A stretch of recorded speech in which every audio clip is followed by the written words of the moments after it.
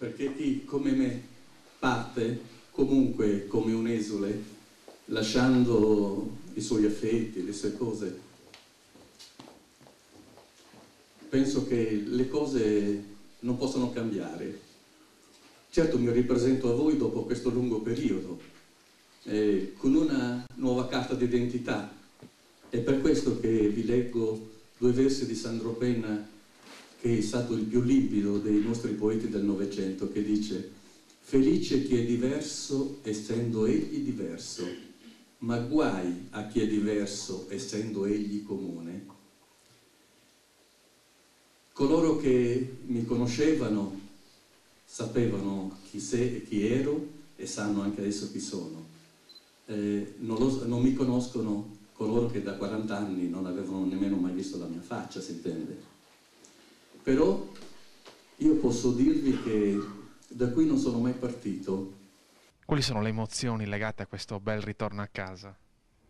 Eh, certamente sono emozionato, certamente è un piacere, perché quando una comunità, non che mi abbia ignorato, ma che mi ha lasciato andare eh, senza mai mettere una barriera che frenasse no, questo tuo cammino, e poi all'improvviso scopri un interesse particolarissimo che raramente noti eh, nelle altre cose della vita, tutto quanto, penso che susciti qualcosa di, che non è ancora possibile descrivere, perché mh, me ne sono accorto dagli sguardi benevoli delle persone che ho incontrato dopo 40-50 anni, pur avendo, essendo anche loro invecchiate come sono invecchiato io, i connotati rimangono sempre quelli, quelli che tu riconosci, lo sguardo, capito, la forma di una... E allora ho capito però che era il sorriso, lo sguardo era benevolo. Forse non sarebbe accaduto tanti anni fa.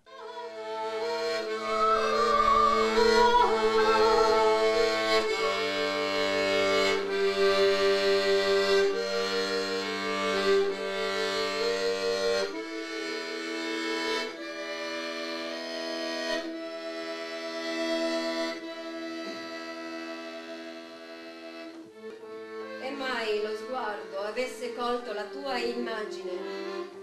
Nella mia cecità, comunque avrei preferito te. A guidarmi sarebbe stato il cuore, sacro testimone, capace a colorarmi il sogno, che m'attirava con il suono della voce, con la forza delle mani che hanno stretto il viso mio, annullando questa finta cecità.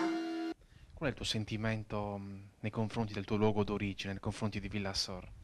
Ma io penso che non sia mai andato via da Villasor perché le radici sono inestirpabili e il territorio che ho occupato eh, l'ho portato con me, quasi che lo avessi trasportato.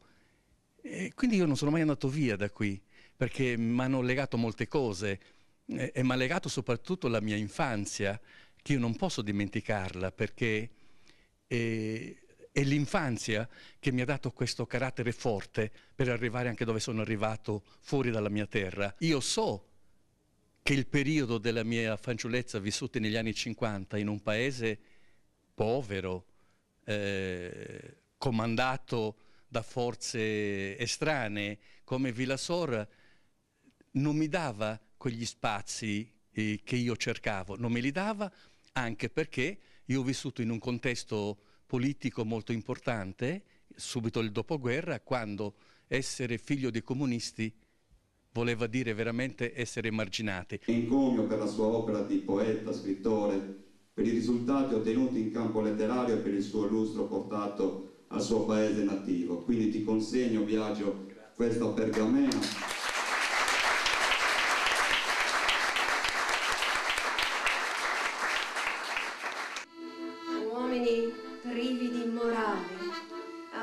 Trascinati da un credo sindacale che non ci aiuta più.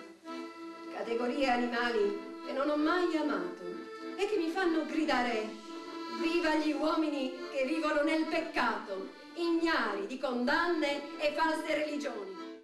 Io sono sicuro che dico la verità e siccome la verità come tutte le parole, come in politica, è quella che trionfa, trionfa sempre, se io dico la verità, prima o poi qualcuno si accorgerà che io ho detto la verità.